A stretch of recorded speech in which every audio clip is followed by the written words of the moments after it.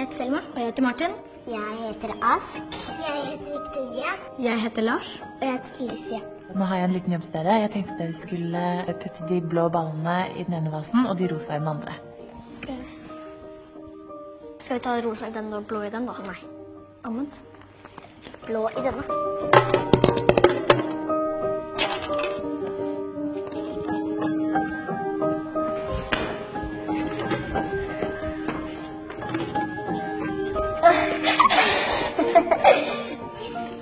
Men nå skal dere få belønningen deres. Oi. Hva er dette for noe? Hva er dette for noe? Ok, og nå kan dere åpne øynene. Oi.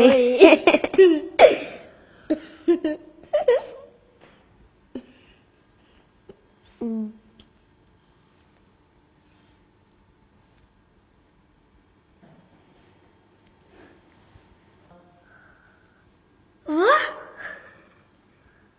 Jeg fikk litt mer. Molly, grunnen til at du har fått mindre enn eh, Thomas, det er faktisk fordi du er jente. Det er kjemperart.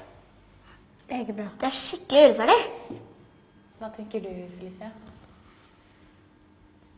Jeg jobbet helt likt, og så får vi ikke det samme. Vi var like flinke, og vi burde få like mye. Hvorfor det? Fordi ellers så blir det urettferdig. Det er liksom ikke forskjell på jente og gutt, da. Jeg tenker at det er feil. Hvorfor er det feil? Jenter er ikke mindre verdt enn gutter. Det har ikke noe å si hvis man er gutt eller jente.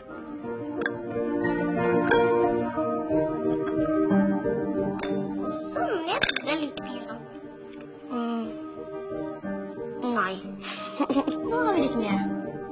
Nå har vi like mye.